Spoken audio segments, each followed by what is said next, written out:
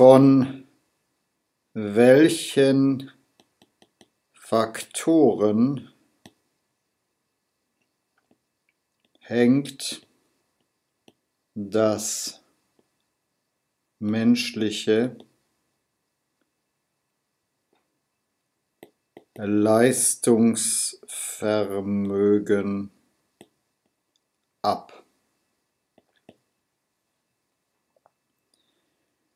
Das menschliche Leistungsvermögen hängt im Wesentlichen von zwei Faktoren ab. Strukturzahl 2. Einmal sind es die persönlichen Leistungsfaktoren.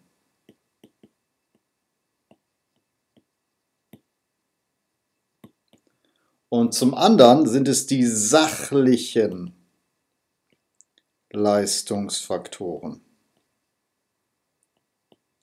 Wenn Sie jetzt fragen, was ist denn das oder was versteht man unter persönlichen Leistungsfaktoren und was unter sachlichen, ich werde zwei weitere Videos produzieren, wo ich das genauer erkläre. Hier nur ganz kurz.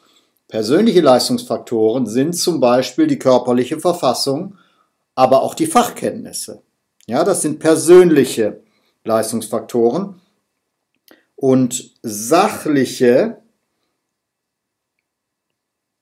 sachliche Leistungsfaktoren sind zum Beispiel Dinge wie die Arbeitsplatzgestaltung oder die Organisation der Arbeit. Aber genaueres dazu in weiteren Videos. Im Übrigen glaube ich, dass wer in die Hölle will, nur einen Fernlehrgang zu buchen braucht. Wollen Sie hingegen lernen, ohne zu leiden, dann klicken Sie auf den Link unter diesem Video. Mein Name ist Marius Ebert. Vielen Dank.